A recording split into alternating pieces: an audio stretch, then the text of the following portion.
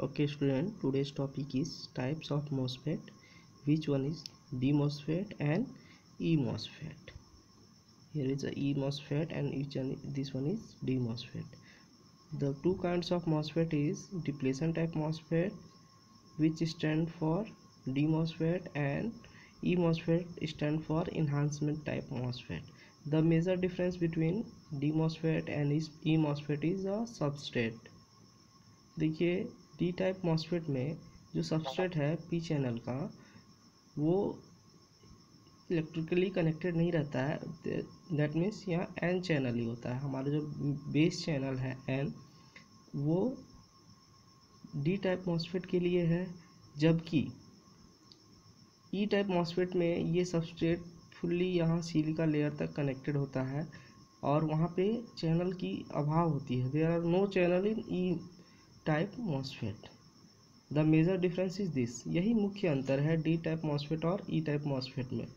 MOSFET की जो साधारणतः संरचना है, उसमें एक सबस्ट्रेट है चैनल है सिलिका लेयर है और गेट है।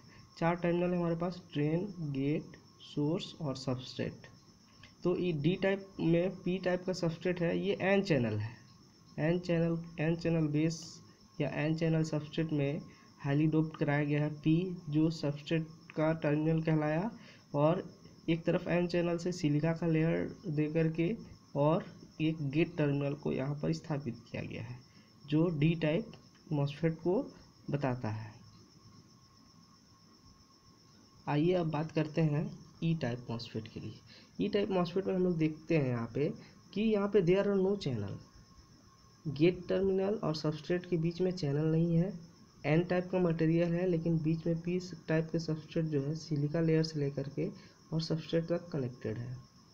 ये भी मुख्यतः चार टर्मिनल है इसमें ड्रेन गेट सोर्स और सबस्ट्रेट फोर टर्मिनल दोनों में होते हैं, लेकिन चैनल के ही डिफरेंसेस से, अंतर से हमको डी टाइप और ई टाइप मॉसफेट को क्लासीफाई करना होता है। जैसा कि यहाँ पे किया गया है, एक सबस्ट्रेट पी चैनल है, यहाँ पे चैनल नहीं है, इसलिए ई टाइप मॉसफेट कहलाता है।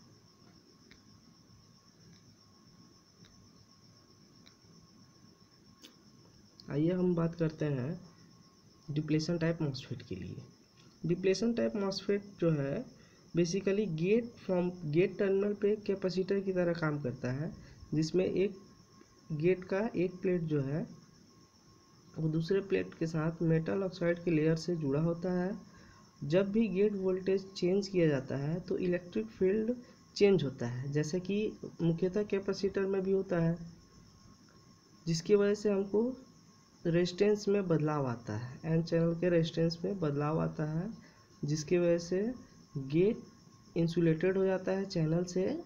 जब भी हम निगेटिव वोल्टेज या पॉजिटिव वोल्टेज गेट पे अप्लाई करते हैं तो यह मॉसफेट ही दो विधि में कार्यरत होता है। यदि गेट पे निगेटिव वोल्टेज अप्लाई किया जाए तो यही D type MOSFET depletion mode पे कार्य करने लगता है। और यदि पॉजिटिव टर्मिनल गेट पर अप्लाई करें तो यही मॉसफेट इन्हांसमेंट टाइप मॉसफेट का काम करने लगता है। This is the same thing as if the resistance of channel is increase the greater the negative voltage on the gate the lesser is current from source to drain okay तो हमारा depletion mode depletion type D type जो MOSFET है, वो दोनों ही mode पे कार्यरत है। Depletion mode में भी और इन्हांसमेंट मोड में भी। देखिए, यहाँ पे डी टाइप मॉसफेट के लिए जो हमारे पास इलेक्ट्रिकल कनेक्शन किया हुआ है सोर्स और गेट के बीच में वी सप्लाई की हुई है ड्रेन और सोर्स के बीच में सप्लाई वी है। एक पी सबस्ट्रेट से हमारा सोर्स के साथ कनेक्शंस है और एक ड्रेन के साथ सोर्स का कनेक्शन है। हमारी जो मुख्य कार्यकलाप है, क्रियाविधि है बेसिकली फ़ील्ड इफ़ेक्ट ट्रांजिस्टर के लिए, जो हम यही देखते हैं कि हमें गेट टर्मिनल के क्रॉस हमेशा निगेटिव पोलरिटी रखना है वोल्टेज की वैल्यू जो है मिनिमम रखनी है और इसके साथ ड्रेन ड्रेन करंट की वैल्यू को ऑब्ज़र्व करनी है, जो हमारी आउटपुट करंट होती है। आइए कैरेक्टरिस्टिक की बात करते हैं। इसकी जो कैरेक्टरिस्टिक है, उसको ड्रॉ करने के लिए ड्रेन करंट और गेट सोर्स वोल्टेज के बीच हम एक ग्राफ प्लॉट करते हैं, जैसा कि सिंपल एफईटी के लिए भी किया जाता है। ये दोनों ही केस के लिए लगभग सिमिलर है। जब ड्रेन करंट की value drain I D S S current से कम है, तब यह ट्रांस कंडक्टेंस की तरह ग्राफ प्लॉट करती है, जैसा कि हमारा एफईटी के ट्रांस कंडक्टेंस के लिए जो पैरामीटर मिला था। और एक तरफ़ इन्हांसमेंट मोड पे भी ये हमारा डी टाइप मोसफेट काम करता है। उसके लिए फार्मूला की अगर बात करें तो I D is to I D S S one minus V G S V G S off का square thanks